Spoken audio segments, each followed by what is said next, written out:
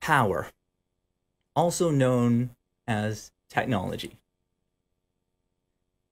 As educators, parents, researchers, and industry, we need to take this moment very seriously. AI isn't new.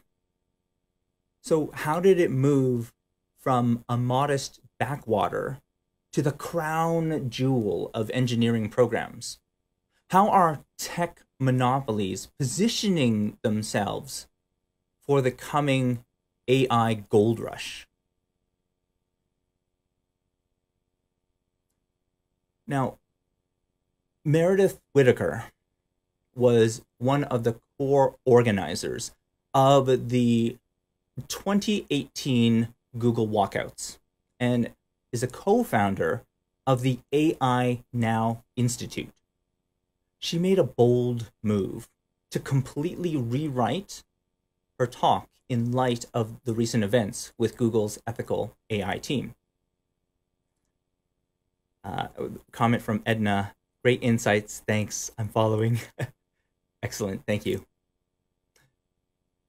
Meredith explained that most people don't see that, and this is her quote concentrated power is masquerading as technology innovation. Tech rebelled against retail, media, how we communicate. And so now these tech monopolies put control of entire industries in the hands of fewer and fewer people. How much how much power are we talking about here? Like, are tech companies as powerful as a city? Are they as powerful as a country? Write it in the comments. Yes or no would you say Google is as powerful as a country? Yes?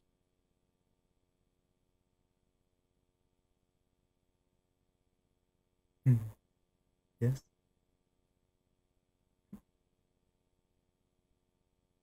Yes. That's right. Some of you saw this power being exercised on February 18th when Facebook decided to flip a switch and shut down all news for a country on their platform. Would the Australian, like, would Australia's own government be able to shut down all news as easily as Facebook was able to? No. Probably not. Now, if you don't like who's leading your government, you can vote for the opposition. But if you don't like Facebook, you don't get a say in who is the next CEO.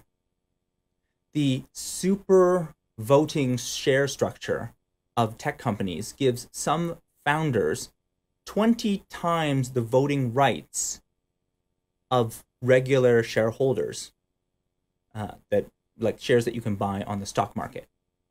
And as a result, Mark Zuckerberg owns 60% of all voting shares for Facebook.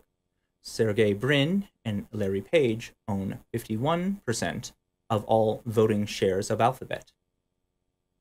Super voting shares have created a tech nobility that is immune to public outcry. They're not afraid. Hmm. Edna, oh, I gotta gotta bring this one in. Thank you uh, for sharing, Edna. Um, Edna says, "Yes, Google is powerful as a nation. Great insights. Thanks. I'm following. Thanks so much, Edna." there's another challenge. A lot of the progress in AI has been due to access to much, much more computing power and much more input data. And so, for this reason, academics have dual affiliation as both academics and industry. Like, for example, um, I work for a university or and I work for Google at the same time. So, like, I'm an adjunct at the university, but I am also employed by Google. Um, myself, uh, I experienced this myself, and I'm thankful for having both industry and academic affiliation during my PhD in computer science because it exposed me to many real world problems and it gave me access to equipment that I would otherwise not have had available. Researchers like us have no choice but to rely on the tech giants for the infrastructure to advance the state of the art.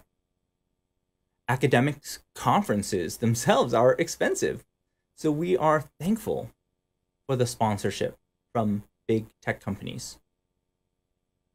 But what happens when you bite the hand that feeds you as a researcher?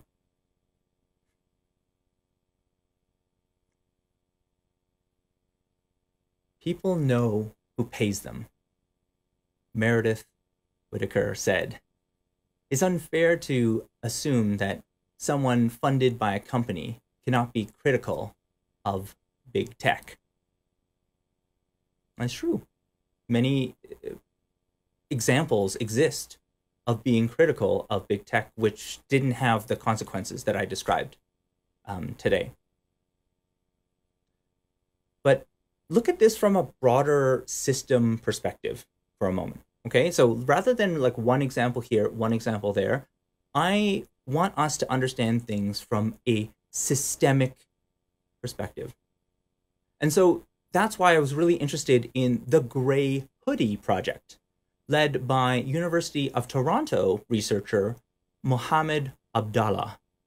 He drew parallels between big tech funding for AI and the way that tobacco companies paid for research into the health effects of smoking in the 1950s. Now, this is important. History repeats itself. And if we don't understand history, we are bound to make the exact same mistakes.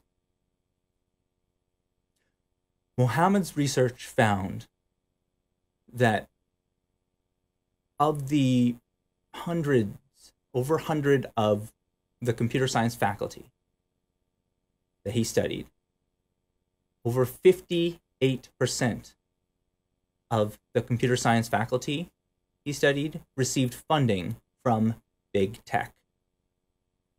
While Abdalla says that industry funding is not necessarily compromising, he worries that it might have some influence by discouraging them to pursue certain research projects if they know, for example, it might be ultimately reviewed by a lawyer. Now, I is this sinking in, right? So what it is is it's not that they're fully restricting, but if they know that there's going to be some somebody who's going to vet it and review it, like you you would just not even pursue certain lines of research. And so as a result, like the funding goes to where towards where where research should be. It's like, oh, I'm looking for more research in this area, so you fund it like crazy, and so you get a lot more research in that area. And then the the areas that are more critical, you just don't fund them, and so it becomes really hard to publish anything on it. And so that that's a way of changing the discourse in academia towards what you want. So that's the that is the 1950s smoking playbook for manipulating research.